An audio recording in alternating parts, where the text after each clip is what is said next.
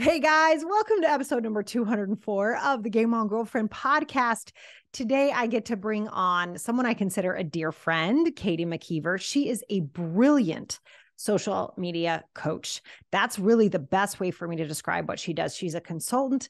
She comes into small businesses, organizations, and also works one on one with human beings who own businesses like you and me, right? And has them really transform their mindset around social media and how to use it. And I've worked with her as her being my coach on this specifically, but I've also seen her work with others. And she's just got this amazing, grounded, totally heartfelt way to work with social media. And I think the way that she talks about it today is going to be super helpful for you if you, like me, have started to hate social media. It's like, oh my gosh, everybody's negative, everybody's snarky. I don't want to be on there anymore. And I think we can all understand that side of social media. There's no question that that exists. That's real. And Katie, in in our conversation today, really sort of talks us through how to deal with that. Like, what do we do? We're we're business owners. We've got to be on there. How can we really be a positive resource for people? And how do we even structure that?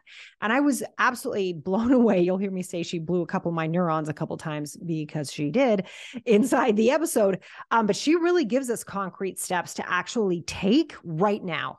So if you have been stuck around social media, if you're ready to throw in the towel, and I say this with so much empathy because I really do get that, this is going to be a great episode for you to listen to.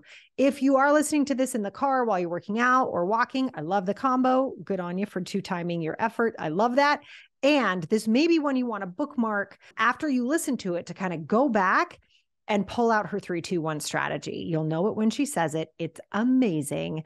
And I hope you use what she says because it's really great. All right, you guys, without further ado, pop in those earphones and let's get to it. Katie, welcome to the Game On Girlfriend podcast. This is like the happiest day ever. My socks are totally rolling up and down right now. It's such an honor. I love you, Sarah. I'm so excited to be here and get into this. Me too. We can have like a love fest up in here. This is a good time, man. I love it. I love it. Well, I would love just as we get started, you know, people are settling in, they're putting in their earphones, they're like pretending they're not listening to a podcast while they're working out, whatever they're doing. As we settle in, I would love for you to share. I think the question I really want to ask is why social media? What about this medium that, I mean, can we be honest? People have such a love hate relationship with. Oh, wait, that's me. Like such a love hate relationship with it, right? Like, how did you land on this thing? How is this what you do? The common denominator through my entire journey has been people, but more specifically, media. I've okay. been an editor, I've been I was English undergrad and graduate major. Like everything. I've been in radio, I've worked in print, I've worked in magazine, I've worked in TV news. All of it scales to media and people. And all I want to do is hmm. connect mm. with people, humans. And then when social media came along, I'm like, this is the pot of freaking gold at the end of the rainbow because this is connecting to people at scale and I have the power to hold it in my hands. I can control it myself as an individual, wow. and everybody else can too. That's my passion for social media. Uh, I think you literally just left me speechless. Like I, I've never thought of social media like Because Katie, I love people too. I have a really hard time focusing on social media. And the way you just framed it, I think I might have popped a couple of neurons in my brain or something. like that was amazing. Thank you. And that's what I want to do because mm. I talk to people with yeah. the way you think about social media every day. Mm-hmm. And I don't want it to be a hang up. I want it to be a way to serve your people because that's what it is. That's what all of these tools are here for us to do ways to serve our people. And right. social is just another way to do that. And it breaks my heart. And I'm I'm so fired up about this right now because I just had a call yesterday with a client and I might tear up because he was on the other end and I was giving him direction. It's a coaching client, and I was giving him direction for what I wanted to see for him to do the next week. And he had a hang up about proactively engaging with people in person and on social. And I was like, okay, listen, listen, I love you. And this is with all of my love. but you have to understand that we are here to serve and help. And if we aren't talking about what we do, if we aren't reaching out to people and telling them our gifts and our passions, we are doing people a disservice. And I know you think the same way. And it is just unfortunate and it's unfair for mm. the people that you can potentially help. It is absolutely unfair. And he had an epiphany. He was like, you know what? And he was like, I, I need to go wipe my eyes because I mean, we had a deep moment. I mean, it was deep. And that's how mm. social can be for people. And this hang up mm. of, who am I to, to share this message? Who am I to be talking about these things? if not you, then who? Like yeah. you're the only person who can, and you're the only mm-hmm. person who can step into that and own it. But he was like, you know, I is in the middle of the word pride.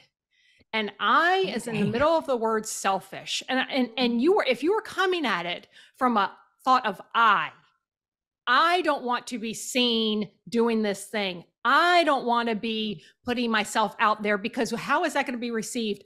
it's selfish, it's prideful, it's ego. And you are not thinking about the person on the other end who could actually be helped by you. You're talking, and I'm sitting there going, Where's my selfish in this? You know what it is for me? My selfish is I don't want to contribute to the noise. Mm.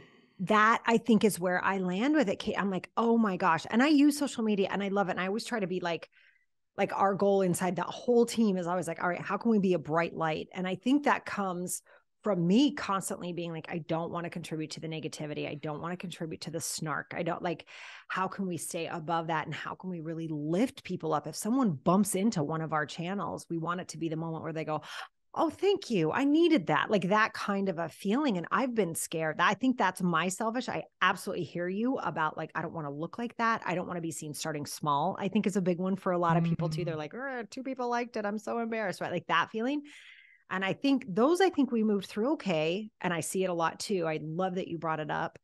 And I think, you know, for me, that's what I wrestle with is like people are spending so much time on their phones. I want to make sure I'm a great reason for them to go there. Not mm-hmm. like, uh, oh, I guess it's all right, or I guess I'm not gonna I'm gonna ignore my family and watch this, but rather it's really awesome content. And I know you agree with that idea as well.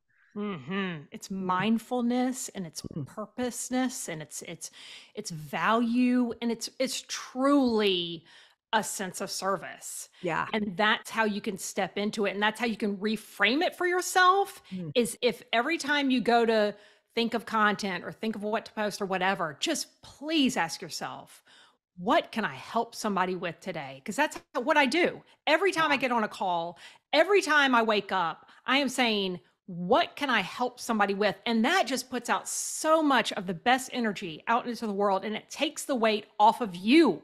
It's not mm. about you, it's about that other person. And you don't even have to think about yourself anymore.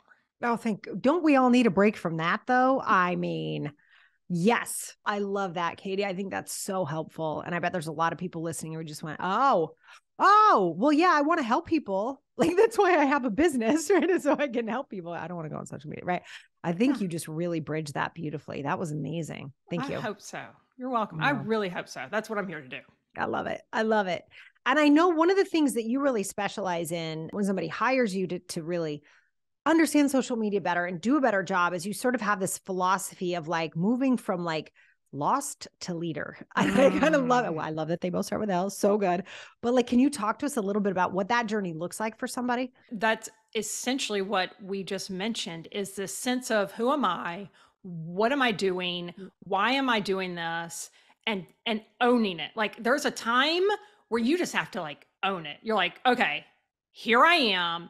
This is what I represent. And that's an internal process. Mm-hmm. And then once we do that, once we internalize it, once we step into it, once we command it, then we have to take the next step of we got to tell other people and we got to step into it and out through it. Mm. So putting that out into the world. And once you do that, you can position yourself. And when I say out into the world, I mean posting, yes, posting on social media, but at at your, you know, picking up at your kids' school, going out to a, you know, a cocktail hour, anywhere you're out and about or online, you yeah. can talk about things. It doesn't mm. have to be this whole public display of something that you feel like is is kind of a hang up on social media, but once you are ready to command your ownership of your expertise, let's talk about it to other people. And that is online and in person. Mm. So we got to step into that leadership role. We got to bring people along with us. We got to tell them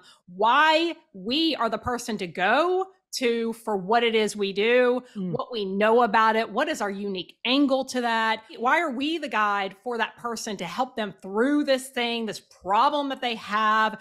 You have to tell other people and you have to own that from a leadership standpoint, or people are not going to know that they can hire you to do a thing. Like you have to tell people it's all about communication, it's all about owning it as a leader and talking about it. Yeah. Yeah, it is. It is. So it's basically, I mean, I think what I'm hearing. So when someone move, removes themselves out of this lost world of like, it's all about me, I'm so like that feeling, and they move into leader, it really is. I remember somebody saying once, if your mouth is closed, your business is closed. And I was mm. like, oh, oh my God, that's so good. Right. And it's like, I never thought of extending that over to social media. But I think what you just said is that idea of like, replicating yourself online, being able to have that conversation all the time, even while you're doing something else, someone might bump into a video or a post or a conversation you had earlier and be like, oh, I needed that right now. Meanwhile, you're off baking cookies somewhere else or doing something that isn't related to that, but it's living online, carrying on that conversation for you. Mm-hmm. Yeah. I mean, really cool. Brands are out here doing it every day. Like they have to position themselves, they have to talk about mm-hmm. themselves. So why not you too? Like you have to step into that world and and own it and tell other people about it. And this is, and social media is just the way to do it. And when you show your passion and you show up in your uniqueness and your gifts, then you're giving people the opportunity to come along for the ride and to really shine. And people want to, they are attracted to light. Like we're attracted to bright people and to light and and goodness. So represent that and people will mm. come. It's really, mm. really nice. Oh, I love that. I really like that, that people are attracted to light. And that's something we can like intentionally focus on, right? Inside social media. Mm-hmm. Like, how can I be more of that light? Like, how else can I share that? Because I do think one of the things that happens to people, so we're talking about being a bright light. We're talking about, all right, listen, you got to position yourself, you got to get yourself out. And then they like stare at a blinking cursor, right? It's like this, like, but what do I say? And I know you have kind of the structure of like what your next three posts could be and how to actually get that done and why that matters. This is really exciting for me because this is like where the rubber meets the road and where you take action. So, if you're listening, this is time to really take notes and to think because I'm about to set this up for you. I'm, I'm about to set up your next week's posts, like and your re- the rest of your month's calendar, content calendar done. Like let's walk this through this framework. It's called the three, two, one, go Ooh. framework.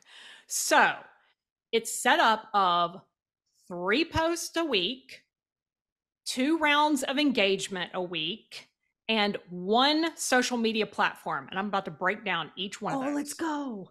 I love that. So back to the three, three posts a week.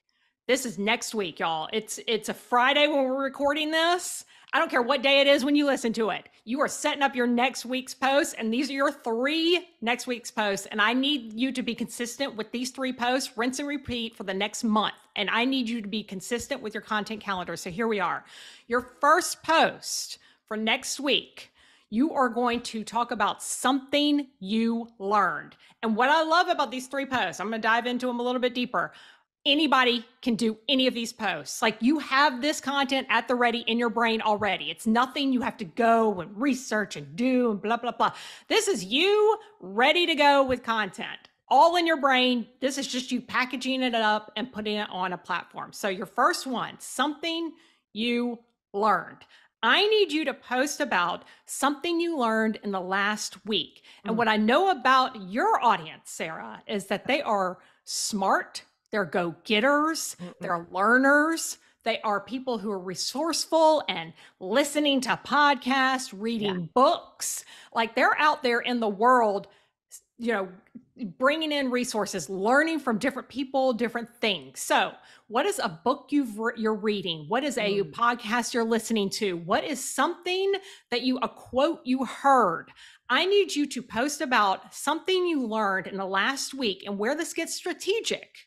Whether that's a selfie of yourself, whether that's a post of you reading the book, whether mm. I don't care what the visual is and the copy, just make it about this. But where this gets strategic is you are posting about something that is authored by somebody or that is uh, you know representative of a brand and you are tagging that author you are tagging that brand mm-hmm. you are bringing in other audiences into your content by doing that tagging that's on linkedin that's on facebook that's on instagram it's on twitter that's on anywhere you are on social media, you can tag other accounts. So, what that does is it just gets your content not just in front of your own audience, but it gets it in front of potentially other audiences. And that's where it gets really fun. So, if you're listening to this podcast, maybe this is something you learned this week. You take a screenshot, tag Sarah and me. Yes. And we yes. see that, and maybe we share it. It's just this reciprocal, nice moment of content love that can happen online. And you're sharing with your audience that you're smart, you're learning, always learning, you're always out there doing new things. So people want to be associated with that. So that's post one. Post two is post something you teach or you want others to know. So this is something that comes from your, you know, what you represent, your brand, what your ownership of, you know, gifts are, whatever it is, something you teach or something you want others to know. So, for example, what is something that you're in the last week you're like, "God, why do people do that thing? They need to do it this way." Or yeah, why do people think like, "Hey, my my client from yesterday who I'm I'm just so hung up on that he was blocking himself from going out and engaging with other people because he was hung up on, you know, what that looks like or if that's self-serving or whatever. Mm. Like I could easily post about what I'm just talking about it right here, but I could easily post about how to get over that thought of I don't want to reach out to people and show up in ways that can serve them. So what you yeah. teach, what you want others to know, make that your second post next week and that just shows that you're an expert in what you do. Third post, something you are proud of. So, something you're proud of, and this is strategic because this is where you can kind of humble brag a little bit and show off a little bit of the things about your business, right? So, something you're proud of, whether that's something that someone on your team, if you're in corporate world, or if you have your own, you know, if you're an entrepreneur, whatever, something on your team or somebody on your team has done something really awesome. Let's post about it. A client win, hello post about a client is basically saying hey i work with awesome people and i help you know an aside to that is i help them get there a little bit so there's mm-hmm. a little bit of that too but i of course always want to lead with value always want to lead with the other person in mind the other service in mind so that is a way to kind of get in the thought that of from your audience of oh they do things and they help people get client wins and huh, maybe I could reach out to them and work with them too. So those are just really easy one, two, three, quick three posts that you could do next week and do those for the next month. And that mm. is your month's content calendar and it'd just be ready to go. So with that, that. The, wow, that's your three. Okay, so yeah, I'll stop there, Sarah. No, you, you know, I'm like blown away. I'm sitting here going, this is like the bat. I'm like trying to like take notes at the same time and be like, yeah, okay, okay, remember what she said, remember what she said. That was amazing. I mean, I think that's so helpful because I don't know what to do sometimes. We have a whole team and they're like, well, we could talk about that. I'm like, I don't want to talk about that. So I think what you just did, what you just offered, it's also reminding me of what it used to be like. I'm going to say, I'm going to sound all nostalgic, but like I remember when Facebook first launched because I'm that old. But I remember when it very, very first launched, it was so fun. Mm. Do you know why it was fun? Because people were posting stuff like what you just said. Mm. People were actually like, "Oh my god, I'm in the I'm in the car with my kids. Guess where we're going?" Like it was so fun because people were just being people. It was before it had turned into posturing or anything else. It was like actually connecting with people, which is so aligned with your mission. And I feel like everything you just said, it sort of brought us back to what it was created for. Mhm. Right? I mean, to really connect with each other and to learn from each other and to get excited. And I mean, isn't one of the best things you can do for somebody is recommend a great book or a great podcast? Oh my goodness, I love it. I love when I hear other people I'm following and what they're it's like this little insight. It's so fascinating. I'm like, oh, I knew that was my girl because she's re- yeah, like I would totally or oh, let me go check that out because that sounds like a good book or whatever. Yes, and I love that you brought up this thought of kind of the more realness or humanness or engaging and connection piece because that's the two on my 321 go framework. Two times a week. I Mhm. need you to block off 15 minutes of engagement time a week. That's it. 30 minutes tops. Like cuz what this whole framework does is is essentially for somebody who doesn't have kind of a social media plan or a social Mhm. media strategy. They're probably out there posting willy-nilly, don't know what to post or kind of like, you know, dipping their toe in, not really sure if it's working, whatever. So this is just the best way to get started. So with that, just block off two 15-minute chunks in your week. And what I want you to do is go in now that you've been posting consistently, go in and respond to any comments you've gotten, even if it's like a thanks. Thanks for, you know, listening or thanks for posting or thanks for commenting. Look for any DMs, you know, you want you need to respond to and then proactively look on whatever platform it is for other people to engage with that might be of interest to you. All I want you to do be doing is just to get into this rhythm of using the using social media as a two-way street. It's not just you pumping out content just to pump out content. It's for you to really engage and things will happen. It's Yeah. it's really cool what will happen once you start you know finding other people and engaging with other people because they will engage back and you're like, "Oh, I'm having real life conversations on this thing now." It's With really cool. humans. With Yeah. Yeah. People. Yeah. Yes. Yeah. I totally get that. I, I've noticed too. I mean, anytime I actually sit down, and engage the way that I know you recommend, it's so smart, Katie. But I know when anytime I've done that, I think other people have experienced this too. When you actually sit down and you're like a person online for 15 minutes, what a difference. What I think it's a difference in our experience of the entire thing too. Like you said, you're like, oh my God, people are here. But I think for other people, it's just so, I want to say warm. It's like so warm mm. and inviting and real. It takes it out of that weird structure everybody worries about of like, but what does it look like? And who am I? And what all that stuff's gone because you're just having conversation. You're so right. And it takes you out of that those like just the troll stuff and just the yuckiness of social that can be out there mm-hmm. and it really mm-hmm. gets you into the good of it too. And yeah, and just reminds you of that and you're like, yeah, the warmth and just the mm-hmm. realness and yeah, it's it's really refreshing when you engage in that way and just take a little bit of your time to do that and just reminds you of how powerful it is because there are humans on the other side, actual Yeah. humans. Yeah. And I will say, I love, I want you to get to your one. The one is you did three, two, one. The one is one platform. Okay. Pick one. I need one. I need you to go and be very consistent on one for one to three solid months because people get overwhelmed. They're like, I, where should I be? What should I do? Pick one. I don't care which one. All we're doing is just mm. e- is building this muscle. It's just exercising this muscle of putting out stuff about what you do. And it's truly LinkedIn, Twitter, Instagram, Facebook, TikTok. I don't care. Pick one and stick with it for one to three months, and you will discover your next step after that. I love that. And I love too that you're saying as you start to take action, the next action becomes more clear. Yes. And then like that paralysis starts to go away. Yeah. Absolutely. Yeah. Yes. Just that mm-hmm. one freaking action. And that's all I want somebody to take away from all of this is just take one action and the next one will unfold. I love that. I think, cause I think that's true. Isn't that true about most things in life? Right. But I, I never thought to apply that to social media, Katie. That's brilliant. It's really good. Thanks. So I would love to know if you are willing to share. What is like the biggest transformation you've seen in one of your clients between like someone who comes in and they're just like, oh my heavens to bets, I'm gonna throw my phone out the window. I don't know how to do this fandangled social media thing, right? To what ends up happening. Obviously, I'm being extreme. Like maybe it's someone who's sort of dabbled. Like, what is like the most mm-hmm. exciting thing you've seen happen for one of your clients?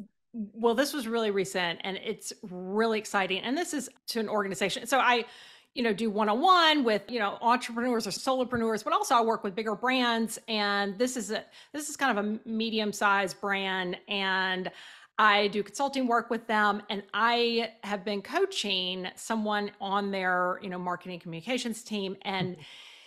it has been the most fun because just this week we got back metrics and I'm all about digging into metrics and analytics and learning from data and I think that comes down the road once you get in this rhythm of, of posting but what happens is when the online meets the in real life that's when it's magical. And that's what happened recently. And what it was was it's a it what happened is we put together a strategy around an in-person kind of festival day at the park day that happens in this community.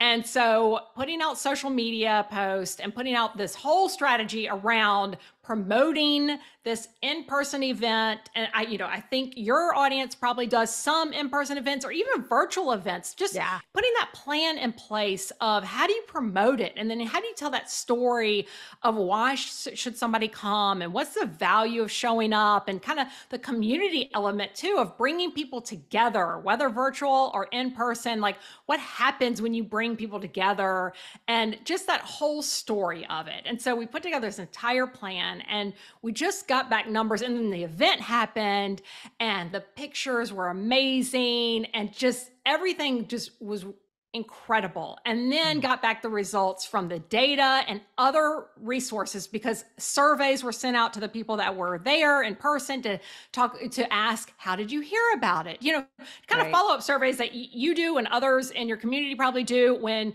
you're you, you you're a service provider or you uh, create a you know if you work with somebody you want to follow up and see how things went and how they learned about you and like kind of all those like data points that help you further your business and, and strategy and marketing. So in that survey that was sent out after people came to this event there was questions on there how did you hear about it? How was it? You know just all those good to know things. And overwhelmingly things that came back were how did you hear about it? Social media social media word of oh mouth, social media, social media, word of mouth. And social media was overwhelmingly mm. the the reply for how they heard about it. And then from the event, it was record breaking. This is a this, oh, this is a regular event, and record breaking number of people came out for wow. that final one, and it was incredible to have this thought of putting together a plan. And I think the takeaway is putting together a plan and, and a thoughtful thing, mm-hmm. setting that up, mm-hmm. putting it in action and actually carrying it through.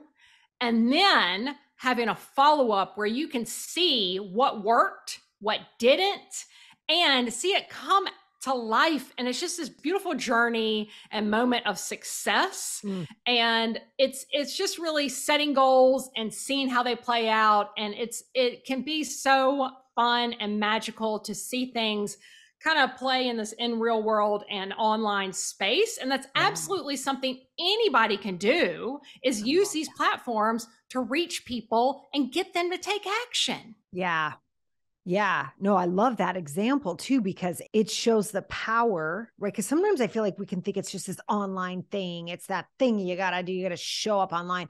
But to bring that into the real world like that and to have the response be, oh, I'm here in the real world right now because of what you put on social media, because of what you put out there online, that brought me to be here with you right now today. I mean, that is like stick a fork in me. I'm done. That is so cool. So fun. I love I it. love that you chose that example. By the way, you guys should did not know I was going to ask her that question.